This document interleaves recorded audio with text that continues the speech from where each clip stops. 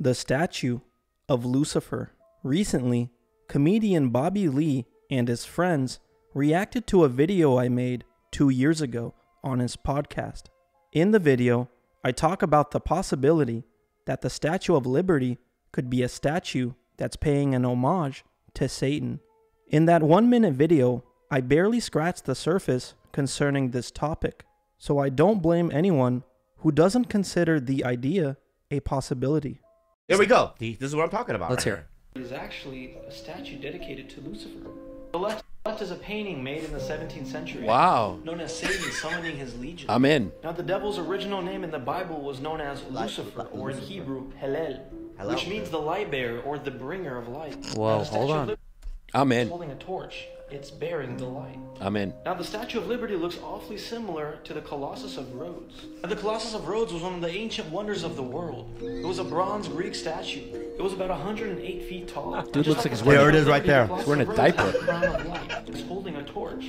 This statue was dedicated to the Greek god Helios, the god of the sun, the god of the light. In fact, many Luciferians refer to the devil as the great light. And this painting of Satan summoning his legions looks awfully similar to the face of the Statue of Liberty.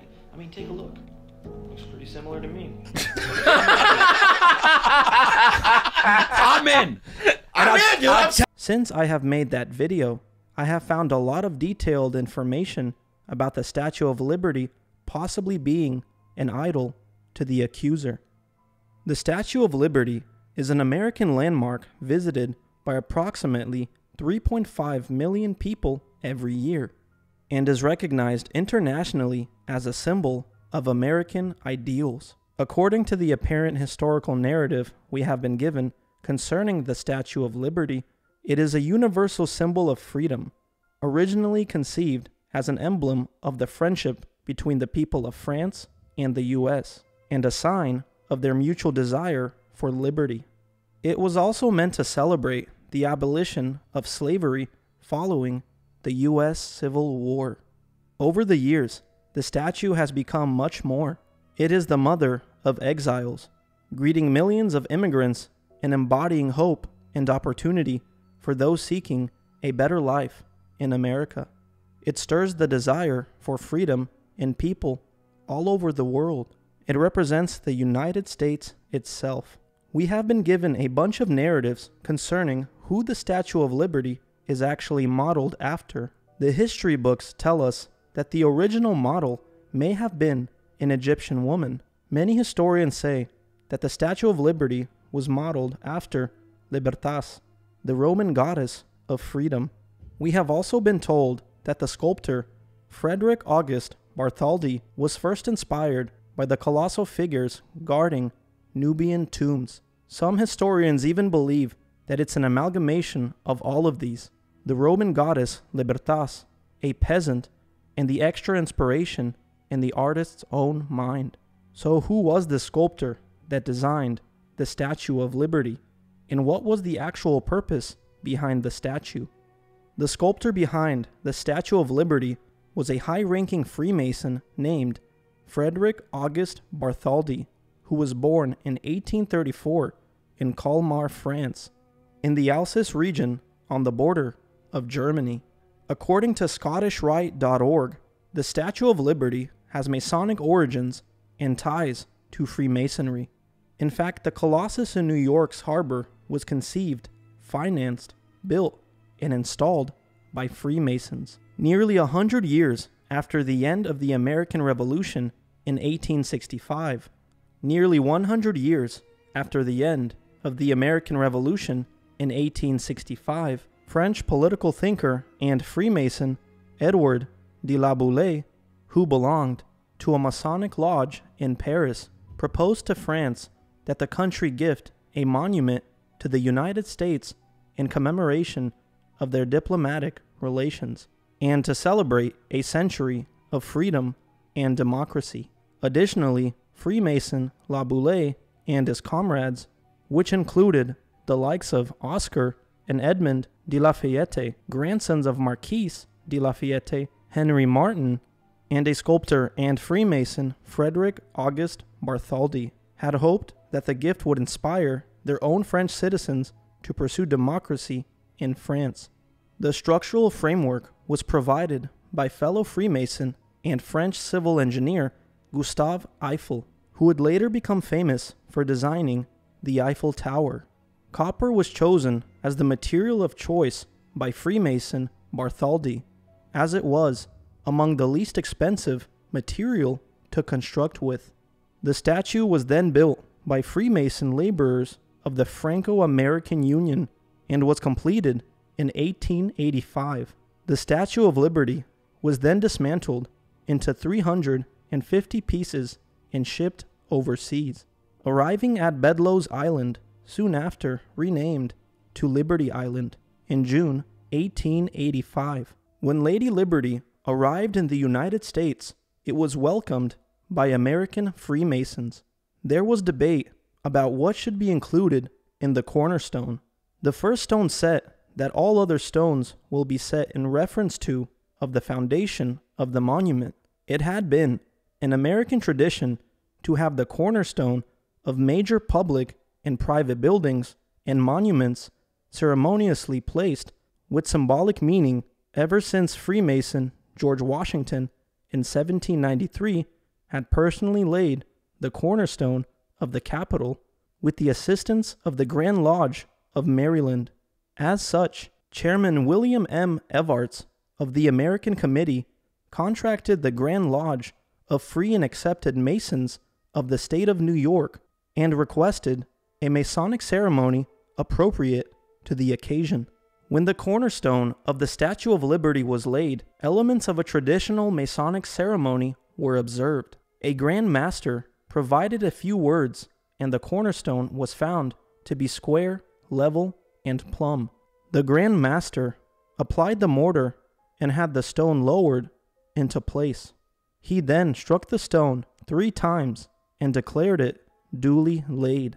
Then the elements of consecration were presented corn, wine, and oil. There's a possibility that the Statue of Liberty is modeled after one of the ancient wonders of the world, the Colossus of Rhodes. The Colossus of Rhodes was a statue of the Greek sun god Helios, erected in the city of Rhodes on the Greek island of the same name.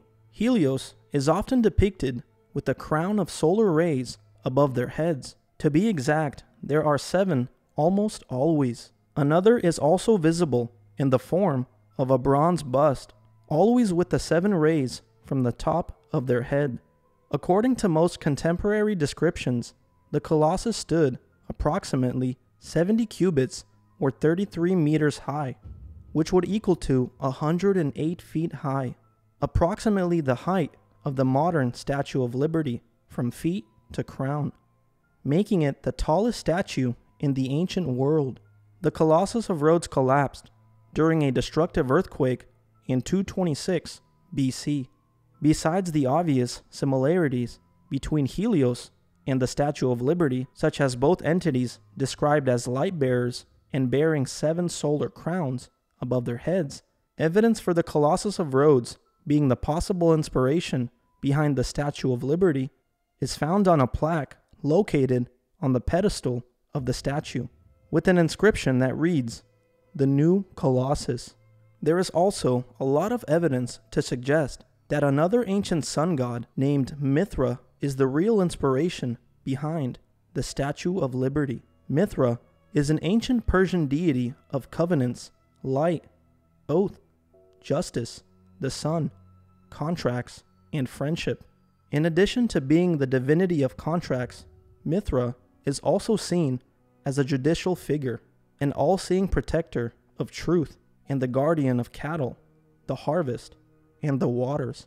Mithra was famously recognized as being the god of light, whose cult spread from India in the east to as far west as Spain, Great Britain, and Germany. The first written mention of the Vedic Mithra dates to 1400 BC. His worship spread to Persia, and after the defeat of the Persians by Alexander the Great throughout the Hellenic world in the 3rd and 4th centuries AD, the cult of Mithra carried and supported by the soldiers of the Roman Empire. It has long been recognized that there are many similarities between the initiation rituals and symbolism of the ancient Mithraic mysteries and those of modern Freemasonry. Masonic writers have often professed to see many points of resemblance between Mithraism and Freemasonry. High ranking Freemason Albert Pike once declared that Freemasonry is the modern heir of the ancient mysteries. I believe Mithra, Helios, Apollo, Ra, and many other sun gods are an earthly personification of the devil, the accuser himself, who has deceptively declared himself to humanity as a beacon of light and freedom. He is the entity behind the inspiration for Aleister Crowley's famous phrase, Do what thou wilt, shall be the whole of the law. The scripture warns us that the devil often presents himself as an angel of light and that we are not to marvel at him. 2 Corinthians chapter 11 verses 14 through 15. And no marvel, for Satan himself is transformed into an angel of light. Therefore, it is no great thing if his ministers also be transformed as the ministers of righteousness, whose end shall be according to their works. There is an old painting made in 1779 titled Satan Summoning His Legion. The face of this painting has an uncanny similarity to the face of the Statue of Liberty and other ancient statues depicting different sun gods, such as Helios, Mithra, and Apollo, which could all be personifications of the accuser himself with different names. This is possibly his earthly form. Not only is there a good chance that the Statue of Liberty represents Satan himself, but it also might have been made to commemorate a specific event that's found in the scriptures known as Satan's little season. After the events of Armageddon in the scriptures in the book of Revelation, an angel comes down with the key of the bottomless pit and a great chain in his hand. This angel binds the devil with his chain and casts him in the bottomless pit for a thousand years, and set a seal upon him that he should deceive the nations no more till the thousand years should be fulfilled. After the thousand years expire, he must be loosed a little season to deceive the nations one last time.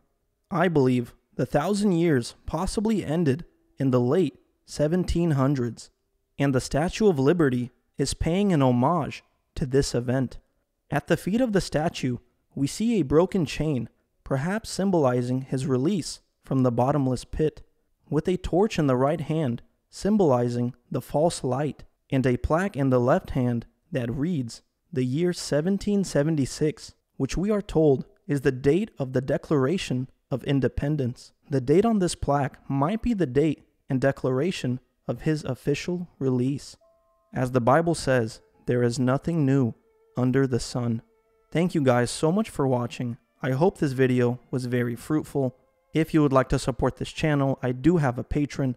The link for that is in the bio below. Thank you so much. Please comment your honest thoughts in the comment section below. Please like, share, and subscribe. Till next time.